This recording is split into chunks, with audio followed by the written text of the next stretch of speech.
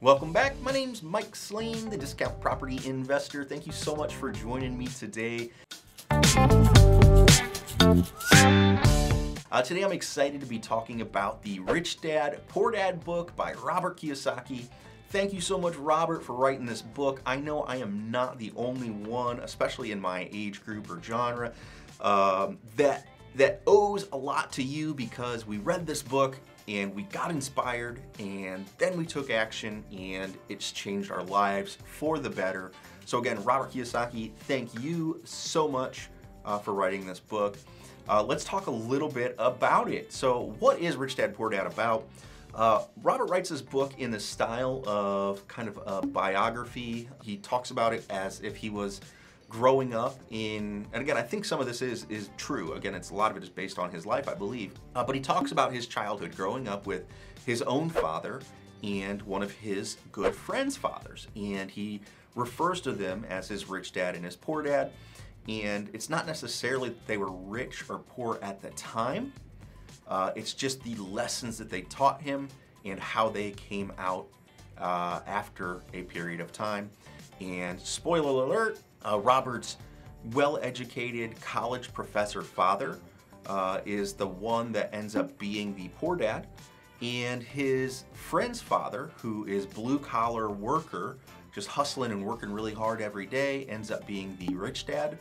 Uh, and again, these are the lessons that he relays to us in this book and that he learned growing up from both of his fathers.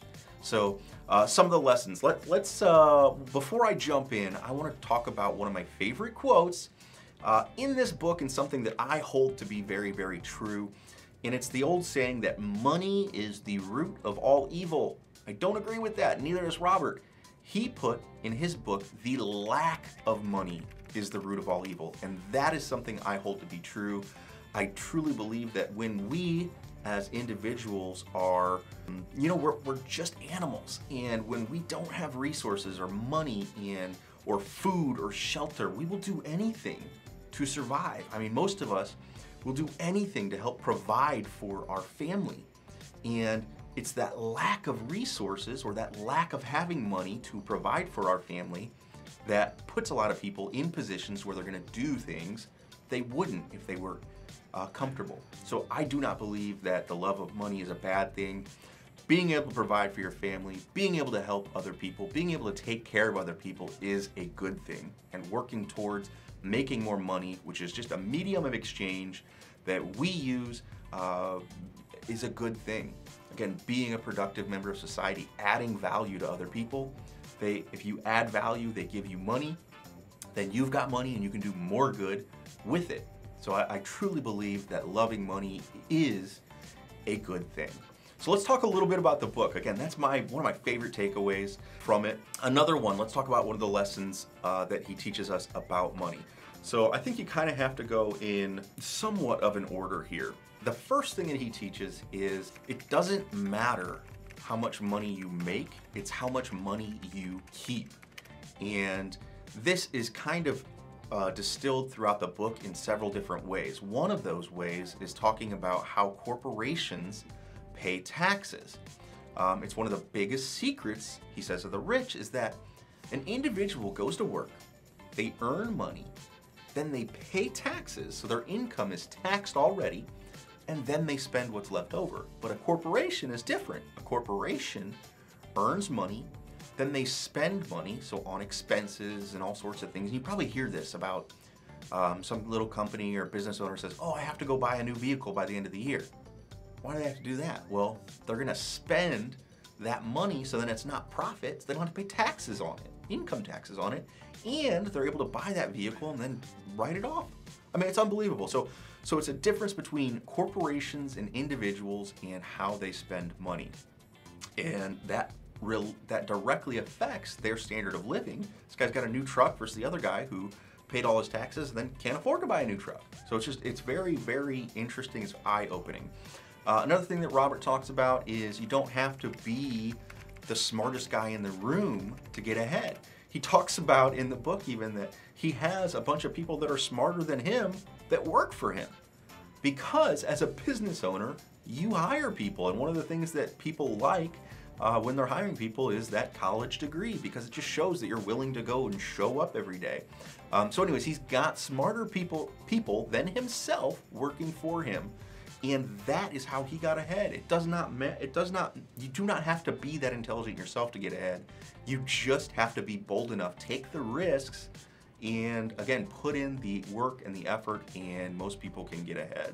One of the another lesson, and this is probably one of the bigger takeaways Again, there's so many good good things in this book, but one of them is the poor and the middle class are going to end up working for money and the rich have money work for them. So this goes back to that whole example of what we're taught our lives. You go to school, get a good education, get a good job, and you work for that money for the rest of your life until you've got a couple years where you've saved up enough that you can now retire. That's not the life I want.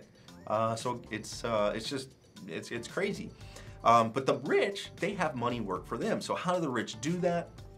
They take the money that they earn and they buy assets with it. Then, with those assets, they buy their toys and they buy their luxuries. So I, I, need to add another thing on there. What is an asset and what is a liability? According to um, Kiyosaki in his book, and I agree, it's the way I look at things, an asset is something that puts money into your pocket at the end of the day, whereas a liability is something that takes money out of your pocket. So that's not the textbook definition of asset and liability that you're gonna see, uh, or when you talk to your accountant, the same way they're gonna see it. Because if you think about that, that means that your personal residence, since you live there and have to pay a mortgage or pay rent, that is a liability. That is not an asset if you own that property. You're gonna have to spend money every month. So again, Kiyosaki, this famous Rich Dad Poor Dad author and real estate investor, you know, that your your personal residence isn't an asset. That's crazy. But it makes sense when you think about it from the context of what is going to allow you time freedom and what is going to require you to work for money or spend money. So if I can buy a rental property and then someone else pays that mortgage and pays me a little extra, that property now becomes an asset. So again, your, your personal residence could be a, a liability if you look at it that way. And that's what the rich, or that's the way that the rich accumulate more assets is by taking their income, investing in assets, investing in assets again, investing in assets again, until you have enough assets to cover your living expenses and then you are out of the rat race, as Robert puts it, uh, really cool board game by him too. It's called uh, Rat Race. Uh, or no, Cash Flow. It's called Cash Flow. Uh, but the whole idea is that you get out of the rat race. So that's kind of what the whole book is about is how Robert grew up, learned different lessons, one from his very well educated father who he refers to as the poor dad and how he learns a lot of lessons from his rich dad who is a blue collar guy but is starting a business or rather owns a business operates a business and how their lives and just opinions on work and money are so different. Uh, if you're looking to learn more about real estate, check out Robert's books, or I'd love it if you uh, followed me for more content like this. I talk about rental real estate almost exclusively on this channel uh, as well as uh, wholesaling and other types of real estate investing. Thank you guys so much for watching. Uh, if you liked this, again, like I said, please like, share, and subscribe. Thanks.